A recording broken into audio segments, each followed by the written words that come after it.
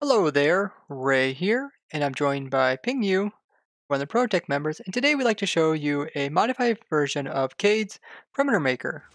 The machine consists of a two-way flying machine which will duplicate TNT and drop it downwards onto the blocks below which will destroy them. Then it also has a holding bay which will initially push it down one meter at a time. This was first built up by Kades, and then Pingu came in here and compacted it, and Comet came in and made it more efficient by spacing it out. On the backside we have bumpers which the TNT duplicators will bump up against, and this will send them back the other direction. These designs were made by Comet, and this will allow them to be uh, two-way, and then they come into their holding bay. That machine will sit in the holding bay until it is ready for it to take off again. Here we have a two-way flying machine that Pingu made, which allows us to make a lot of delay very easily. And what this machine will do is that when it's activated, it will fly upwards, and it will go up into, it reaches this um, returning part here, and this segment here will return the flying machine, and it will also set itself down one meter as well. This way it's really easy to make a lot of delay. So after the delay system will return, this will give enough time for the sweepers to be back in holding bay. Then the TNT dupers are sent off again, then a short delay later, then the water sweepers down below will also be sent off. This way the water sweepers aren't in the way of the TNT coming down and destroying them. Now this is the same type of water sweeper that we have shown earlier, I'll link it down in the description that Pingu and I designed, and here they come along and get bumped up against the same type of bumpers, and they get returned to their holding station for the next round to occur. So here I have an example of the machines working. We got some blocks set aside where the TNT will come down and destroy. And if they ever run into liquids, like you can see there is liquids in your normal world, then eventually they will get destroyed. So the TNTs come by and destroy the top blocks that are exposed. And then the water sweepers will come by and remove any of the water sources or liquid sources. It could be lava as well. And this works with the timing so that once this machine returns to its holding station, it can then be sent off again, and that's why we have that long delay up above. The TNT duplicators are all sent at the same time. This way we can ensure that all the TNT reaches the bottom at the same time all the water sweepers are pushed at the same time. That way we don't have a water sweeper that gets too close to TNT and gets destroyed. Now in this example here, I made a small example so we can easily see it reaching both sides. But you can make this as wide and as long as you want, as long as it's loaded uh, entity processing chunks. Because the TNT can destroy this machine back here, we need to first keep the machine kind of far back so it doesn't destroy it. We obviously don't want to send off the water sweepers until the TNT has uh, moved far enough out so that it doesn't cause any damage to it. We also have to make sure we stop the TNT explosions before they get too close to these bumpers, which will send back the sweepers. So once they get so close, we will prevent them from duping as we have the bouncers or the bumpers up there for the TNT dupers closer than we have the ones down here. That way the TNT is just outside of the range, so it's not be able to destroy this observer here. And because the TNT does not destroy all the blocks, we need to come ahead and remove the blocks in this area before sending this machine into here. Otherwise the machine will continue to move downwards, but eventually run into these blocks that the TNT hasn't removed. So we went ahead and we removed 8 meters worth of blocks in here. This gives room for those blocks as well as all the blocks surrounding this bumper device that we send back to sweeper. And on this side here, we want to remove 10 meters worth of blocks. This gives enough room so that the TNT doesn't have to be close enough to destroy these, as well as the machine itself can move down into this area without having to run into any blocks. On the sides here, we have 3 meters worth of blocks removed. This prevents any liquids of opposite types from touching each other and creating cobblestone or stone. This would create a generating machine, and this would break it since uh, blocks would be removed by the machine, and then the cobble generator would create more and then the machine is not made for that. And also, um, same goes for this side here. We also got the same thing to prevent that from occurring.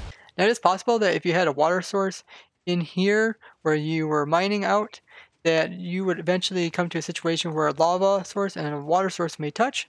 And this normally occurs if there's like a lava or water source above and then down below in the ground a little ways there is a lava source and the water accidentally blows up and goes down like a cave and eventually finds this lava source and creates obsidian. And this would break the contraption since TNT cannot destroy blocks such as obsidian.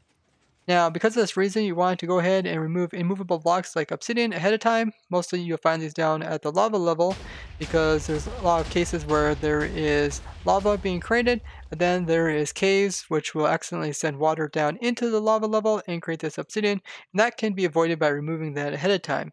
But there's always these cases, like I said, where the water will happen to find these obsidians and break them. The best way to avoid obsidian occurring inside of the area that you're trying to destroy the blocks in is to remove any lava sources that are kind of isolated by itself. And then when you get down towards the lava level, you want to go ahead and remove any water sources that are kind of close to lava. So pretty much you're trying to put as much distance between the water sources, such as like the lakes, from the lava lakes that are down below. It's a good thing to observe the machine working because there may still be a case where obsidian was generated. And this way, if you're watching it, you'll see it coming up to the surface and you can remove it before it breaks the machine. The TNT duper as well as the water sweeper will inch down meter by meter, slowly removing all the blocks in your entire perimeter.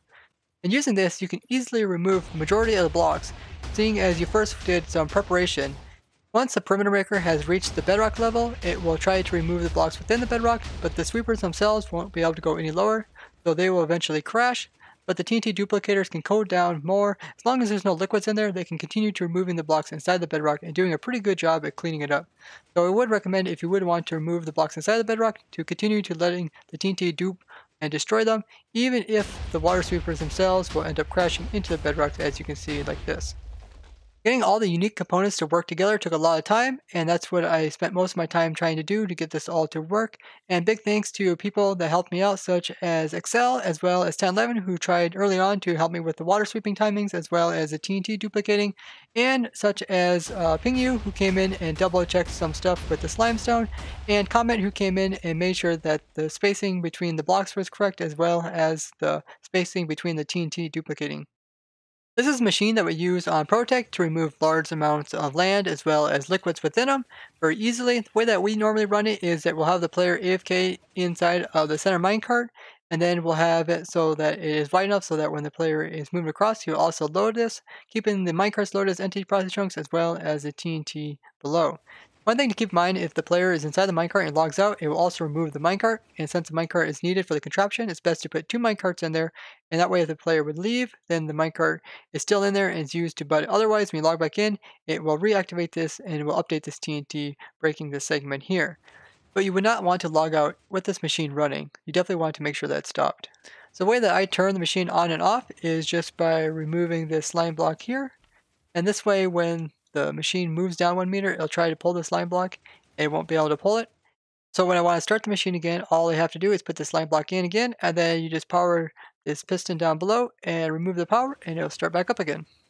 With a large slimestone creation like this, one thing you do have to worry about is lightning strikes, which can cause fire, which can cause updates. So if lightning would strike like here, then it would create a update against this observer. So something like that you would want to keep in mind of. And in those cases, you want to avoid lightning, either sleeping away the nights or building this in a biome that lightning can't strike, such as a cold biome or a desert biome. Or go ahead and just put blocks over top of this to prevent lightning strikes from reaching it. Building this machine up in survival can be a bit tricky, especially with all the floating components and even like this one up here, and a lot of precise block placing. Now what I highly recommend is before you actually run the machine is to make a world download of your world or have the server make a world download. That way you can keep it as a backup. And then always you can use the world downloader mod to take a copy of the area and then test it in single player and see if it works before actually running it on a server. If you would like to use the perimeter maker in your very own world, I will provide the world download in the description. Obviously, you would want to make this quite a bit bigger if you want to do an entire perimeter.